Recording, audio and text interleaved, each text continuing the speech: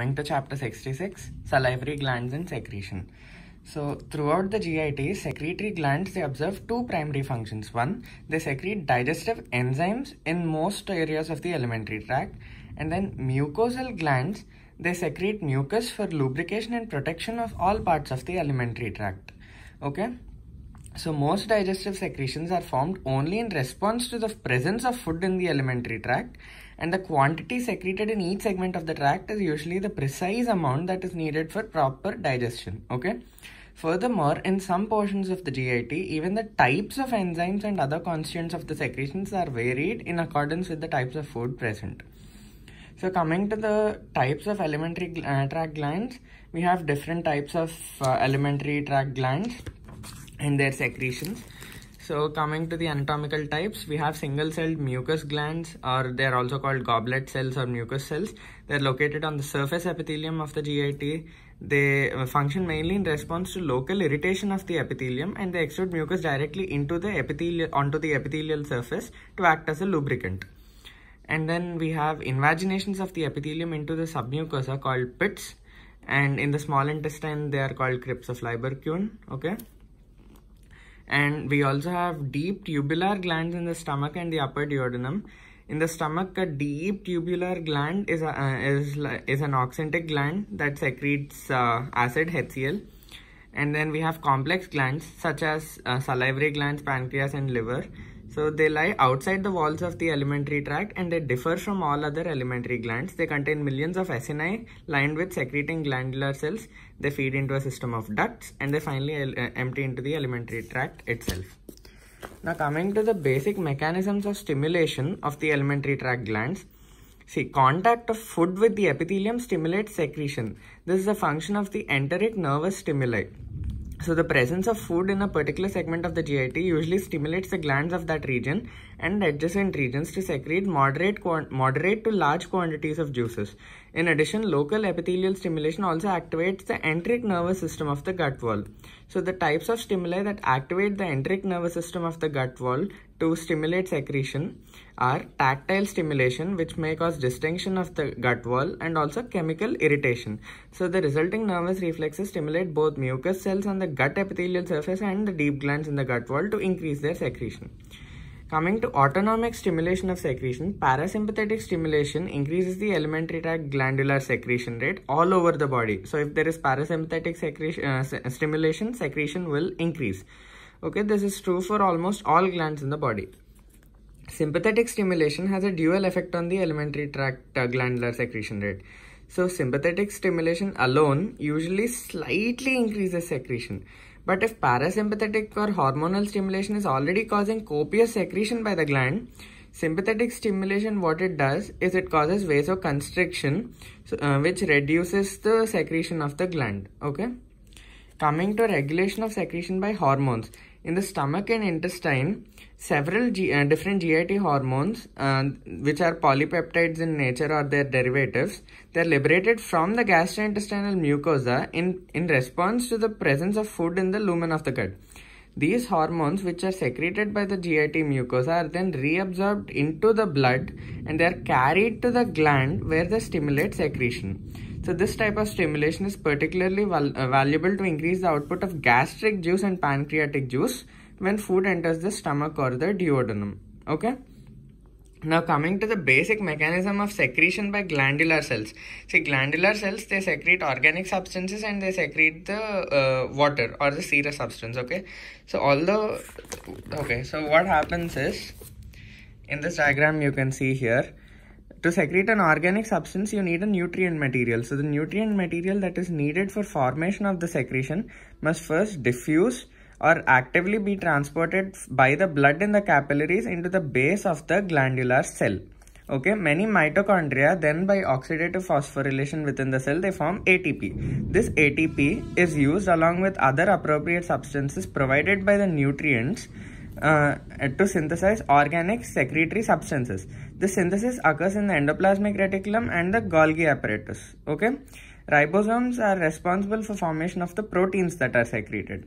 Now these secretory materials are transported through the tubules of the endoplasmic reticulum and they are store uh, uh, and they uh, they they pass to the vesicles of the Golgi complex where they are modified and concentrated and then they are discharged into the cytoplasm in the form of secretory vesicles.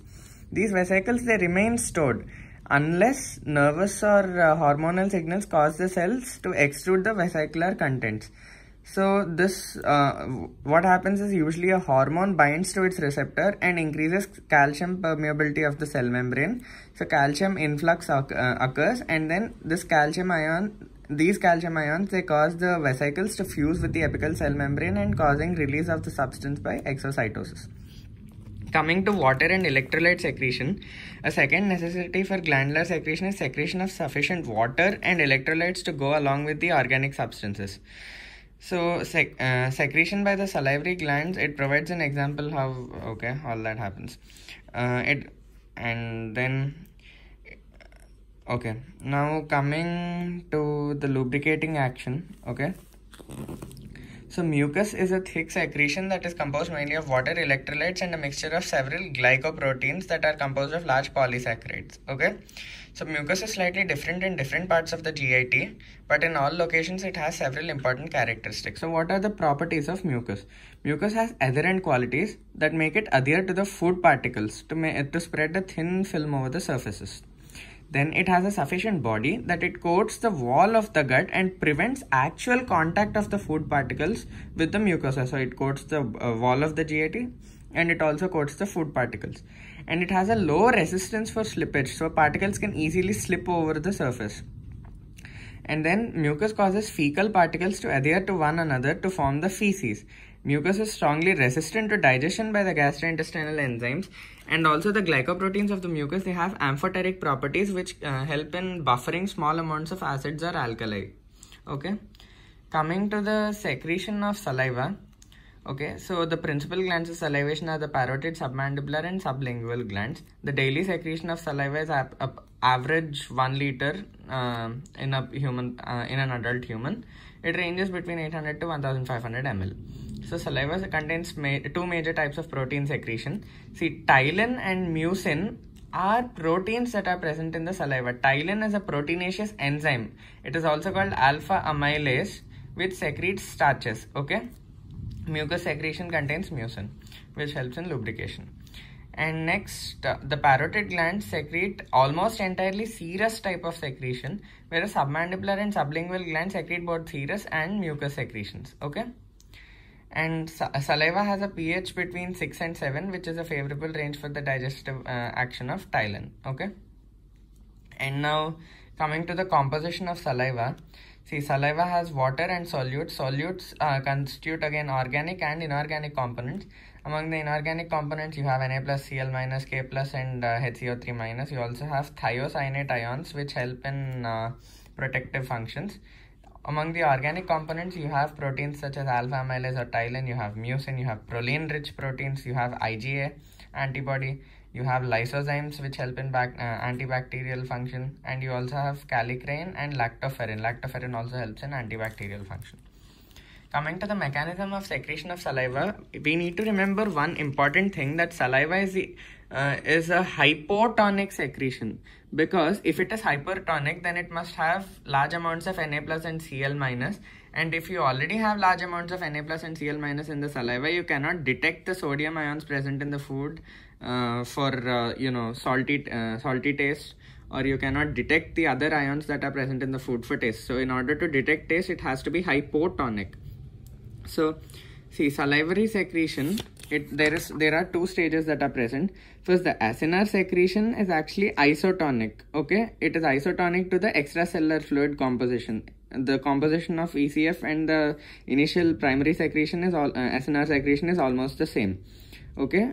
Then what happens is as it passes through the duct the duct makes it hypotonic. It actively reabsorbs sodium ions and actively secretes h plus ions into the uh, duct okay uh, so the ductal cells they do this. And more sodium ions are reabsorbed and less potassium ions are secreted into the tube uh, into the duct. So what happens is the saliva in the duct it becomes negatively charged and gets a potential of about minus 70 millivolts. Okay? And also next what happens is because of this excess negativity in the duct because more sodium is taken in, uh, taken out of the duct and po- less potassium is added in chloride passively travels along with the sodium outside the duct to compensate for this excess neutrality uh, sorry excess negativity. Then uh, put, uh, bicarbonate ions uh, can be secreted into the duct again to compensate for the chloride efflux okay? This is what happens so uh, this is the first stage and second stage of uh, secretion. And then the net result of these transport processes is that under resting conditions saliva is k plus rich okay? Uh, so concentrations of sodium and chloride in the saliva are only about 15 milli equivalents per liter one tenth of their concentrations in the plasma one seventh or one tenth conversely concentration of potassium ions is about 30 milliequivalents per liter seven times as great as plasma and bicarbonate ion concentration is 50 to 70 milliequivalents per liter. 15 into 2 is 60 and 30 into 2 is 70 you can remember it that way. Okay? And now during maximal salivation what happens is the salivary ionic concentrations they change because rapid acinar secretion it rapidly flows through the ducts and there is less time for the ductal cells to reabsorb sodium and secrete potassium and do all that so sodium concentra- uh, chloride concentration is only just ha- half as that of the plasma. Okay. And now coming to the functions of saliva. See, uh, function uh, function of saliva for oral hygiene. So uh, saliva the flow of saliva it helps wash away pathogenic bacteria as well as food particles that provide their metabolic support and then saliva has several factors that destroy bacteria See, saliva, it washes away bacteria. That is the first thing. Second, saliva, it has several factors such as thiocyanate ions and proteolytic, uh, proteolytic enzymes such as lysozyme.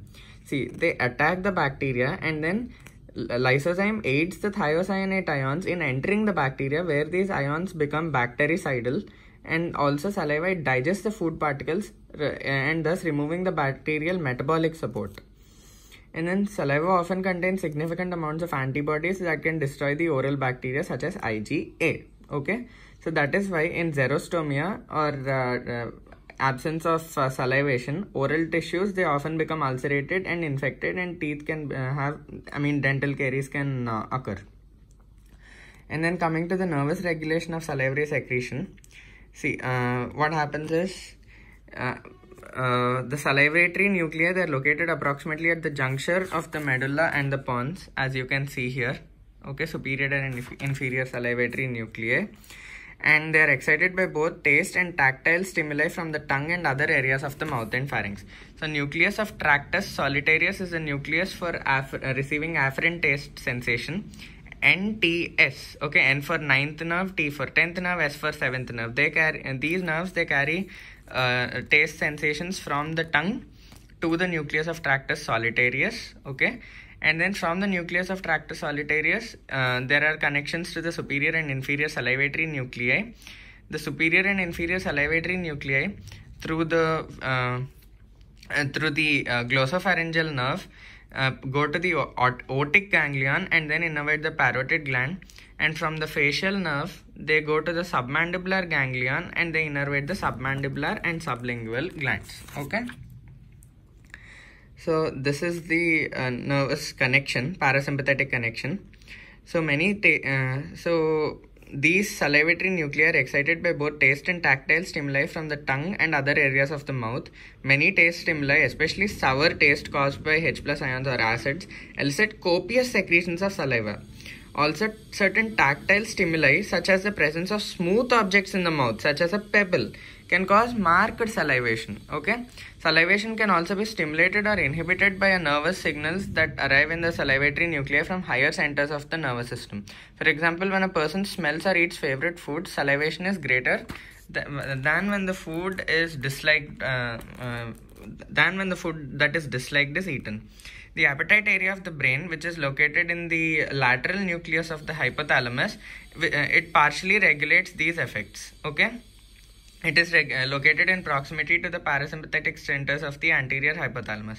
Salivation also occurs in response to reflexes that originate in the stomach and upper small intestines, particularly when irritating foods are swallowed or when a person is nauseated because of some gastrointestinal abnormality. Saliva, when swallowed, helps to remove the irritating factor.